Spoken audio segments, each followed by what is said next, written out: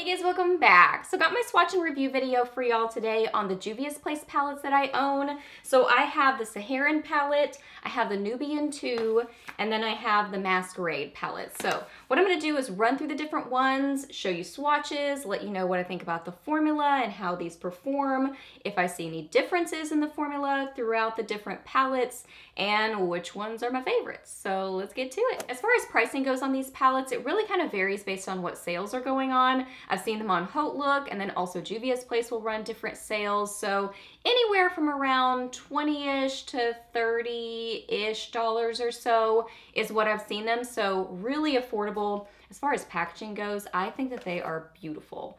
Like the outside boxes are really gorgeous. The actual like palettes are beautiful. They're just colorful. Um, they're like a cardboard sort of a material, but they feel nice and sturdy. So I think that they have really nice packaging to them. Just really pretty, like very colorful and a lot of fun. Now let's run through the different palettes. So first starting with the Masquerade, this is what the outside box looks like. This is what the palette looks like. I'll show you inside in just a second. This is what it says about it. The Masquerade palette was inspired by festivities usually filled with beautiful and striking colors, enormously captured and celebrated with joy, beauty, vibrancy, and spirituality. 16 richly pigmented colors created and formulated to beautifully elevate your beautiful qualities. Let's celebrate. So really pretty theme to it. Again, that's what the outside looks like. Let's look at what the inside looks like. This one is a very colorful palette. Now there are no mirrors in here. That's not a game changer for me, but just an FYI, no mirrors. But this one is a very colorful palette. There, There's a lot of neutrals too, but the most like um, vibrant colors seem to be in this palette. So this one's a really fun one. So let's look at some swatches. So starting with the top left of the palette, this one is Chi Molly, Dahlia, Zola. Second row, this one is Makeda, Zobo, Calabar, Bon. Next row, this one is Giza. That one right there is Burkina. This one is Cairo. Really pretty color. That one has a little bit of like um, a drier sort of a texture, so doesn't seem to have the greatest texture on that one. This one is Ada, A-D-A, Ada, Ada, am I saying that right, I hope? I don't know, I'm doing my best. Da, Dahia, Dahia? Yes, Dahia, Zulu, Casablanca, and this one is Fulani. And which one, there was one that had a slightly drier texture this last row. I think it was Zulu which is that one right there. Had a slightly drier texture. Not as much as this one, but just a little bit drier. So very pretty swatches on this one. Look at all those bright colors. Oh my goodness. So there is another look at the swatches. As far as the texture and performance of the shadows, this one is my least favorite of the three. It's still really good. I don't want you to think I don't like it. I do like it and I would definitely still recommend it, especially for the price. I think it's a really nice palette, but I just don't like it quite as much as the other two.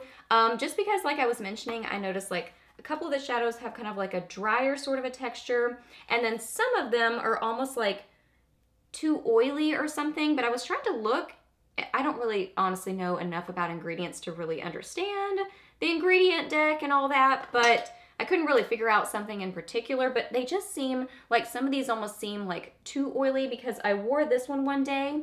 Um, this one is Makeda and it faded and kind of like creased a little bit, but it's a purple. And I've noticed like purple is just kind of across the board with a lot of different brands tend to fade. At least that's been my experience. So might have less to do with the actual like shadow and more to do with the color.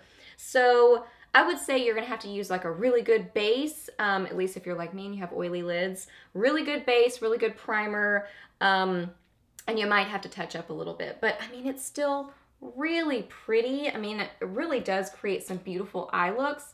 I just don't like this one quite as much as the other two. So if we're trying to like narrow down and I'm trying to like help you pick, this one wouldn't be my very favorite. Next we have the Nubian 2. So that is what this one looks like. Just a really bright, vibrant yellow, really beautiful. So this one says the Nubian 2 palette by Juvia's was inspired by an African empire in Old Egypt, headed by the beauty icon Nefertiti.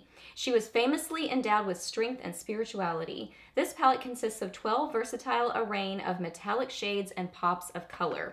So this one, I love the detail of like the different color on the side. Like it's just really pretty. I mean, it's obviously it's the inside of the palette that's showing on the side. Like this is showing on the side, but it's just pretty. It just makes me smile. I love the colors. So this one is still colorful as well, kind of like the Masquerade, but this one is like more jewel toned and deeper. So there are still neutrals in here, but the colorful shades in here are just deeper and more jewel tones. So that is what this one looks like. Um, and the pans, I have the larger of the Masquerade. I believe that there's a smaller one with smaller pans, but I have the larger one. So the pans are larger in this one and also in the Masquerade that I have. The Saharan is smaller, and I believe that the Nubian one, they are smaller shadows as well. So anyway, back to this palette. That's what that looks like. Let's look at some swatches. Again, starting with the top left side of the palette, this one is Morocco a nice matte. This one is Madagascar. This one is Sheba. That one is Ya. Middle row, this one is Jezebel. That one is Zuri. This one right here is Cleopatra. This one is Nefertiti. That one's so pretty. I love that one. That one with uh, this one over here. Oh my goodness, that's an amazing combo. This one is Nairobi. That is Layla. This one is Kenya. And this one is Egypt. Gorgeous. As far as mats, there are one, two, three, four mats, Morocco, Madagascar, Jezebel, and Kenya. So those are the mats, but you can just see it has a neutral tone to the palette, but then also the colors in here are kind of like jewel toned deeper sort of shades. Really beautiful. Texture and performance on these shadows is really good. I love this palette. I think it's so nice. I find the mattes to be really easy to work with. I find them to blend well, wear well. The metallics are really nice and vibrant and they wear well throughout the day. Um, just a beautiful palette. I really, really enjoy this one. So this one is my second favorite of the three that I have. And I forgot to mention that the Masquerade has one, two, three, four, five mats in that one. So that's just an FYI. And then lastly, I have the Saharan palette. So I want to show you a little size comparison between the three. So in the back there, the largest of the three is the Masquerade. Again, I have the large Masquerade palette. In the middle is the Nubian 2. And then the smallest one of the three is the Saharan in the front. So there they are in comparison, but just look how like bright and beautiful and colorful they look together. I love it. I think they're gorgeous. Okay, so let's talk about this one. So first off, the way it looks is amazing. I love the coloring on this one. I love the coral with the turquoise. It's really, really beautiful. The outside box is the same and gorgeous. So let's read about this one. It says, a lively Saharan, inspired by the vibrancy and vivaciousness of the Wadabi festivities in the Fulani culture of West Africa, filled with elaborate and flamboyant makeup.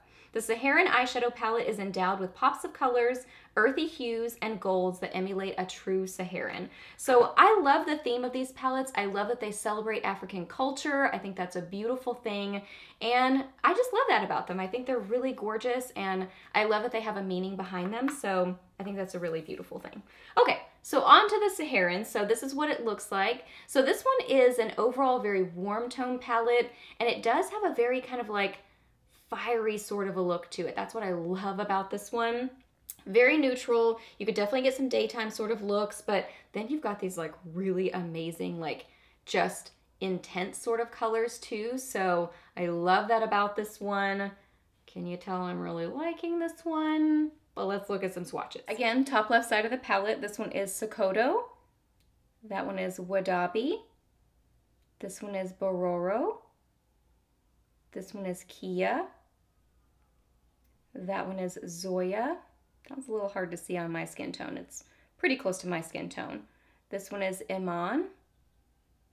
That one is Jamila. This one is Senegal. That one is Chad. This one is Katsina. Lulu and Fula. So there are all of those. I just love the overall tone and feel of this palette. It's just beautiful. As far as mattes, one, two, three, four mattes in this palette. So there are swatches. Texture, formula, and performance on this palette is really, really great. I love this palette. This one's my favorite of the three.